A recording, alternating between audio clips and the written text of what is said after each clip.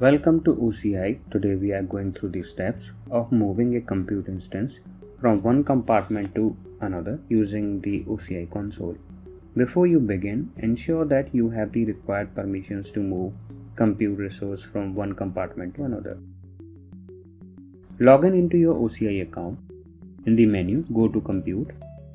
Select the desired compartment from where you would like to move the resource. I have demo compartment 1 from where I will be moving the resource to the destination compartment which is demo compartment 2. Locate the instance which you want to move, click on instance and then click on more actions, click move resource. Now select the destination compartment, demo compartment 2, click on move resource. Moving is in progress and will take few moments. The instance has been moved successfully from the original compartment to the new compartment. Let's verify. As we see the instance is not available in demo compartment 1, it is now under the compartment demo compartment 2. Thank you for watching. Hope this video was helpful.